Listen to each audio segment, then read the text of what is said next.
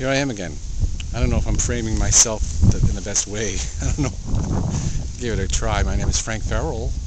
Once again, I'm hiking on the trails today at the Little Red Schoolhouse Nature Center in um, Willow Springs, Illinois, south of Chicago, near Palos Hills, Orland, or, Orland, Illinois. Orland Park, maybe. Yeah, it's great. It's a beautiful day. Saturday, March 19th, 2011. Um, I'm going to turn the viewer to you and you'll see what I see.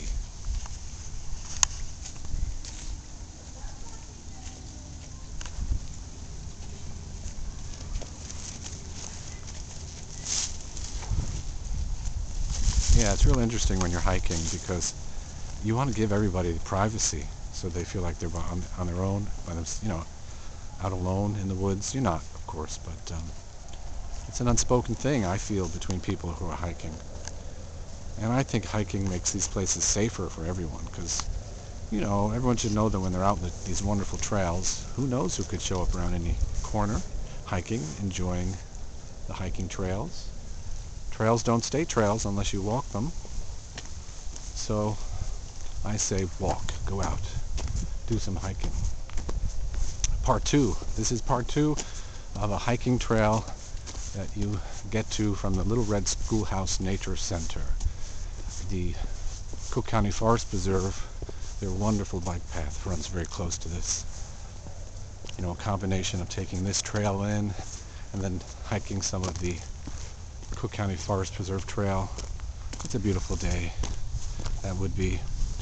And you know, from someone like me who lives in Chicago, always looking for good hiking places nearby, this is the widest swath on the map of green for the Lake County Forest Preserve. And that's what attracted me to it.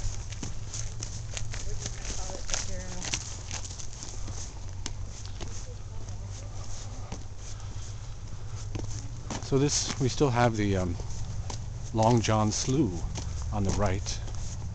Oh, it's really beautiful. It's barren of greenery, no buds yet. I can see Rick down below. I'm to pick up my speed.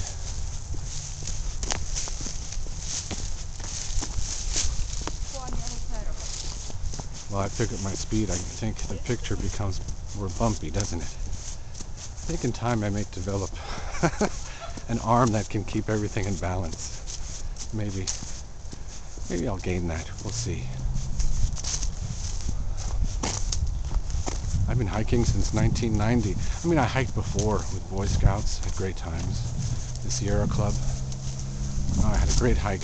Maybe, maybe it was one. I could have been the first one that a light bulb went off in my head. 100 people, and it was in New York State and two by two it was a very long line of people and you could feel the ground under your feet shaking from all the walking on the trail.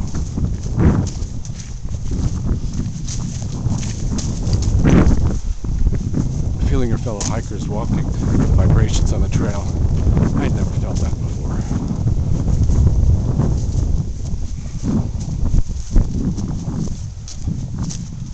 I don't know, maybe it has something to do with Oh, this is silly. A hollowness in the ground? I don't know. Maybe it's a rocky ground? I don't know. Well, up ahead is my hiking friend Rick.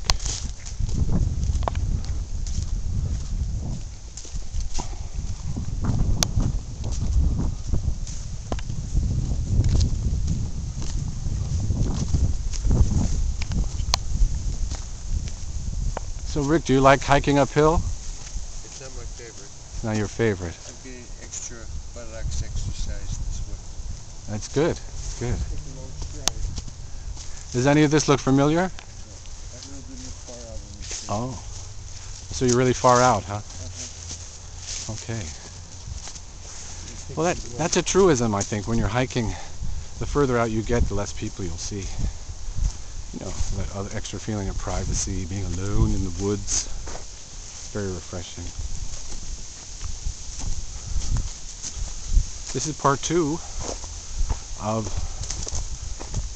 the hiking trail, the White Oak hiking trail from the Little Red Schoolhouse Nature Center in Willow Springs, Illinois. One and two thirds miles. Ooh, one and two thirds miles. Thank you, Rick, for that information. Now, uh,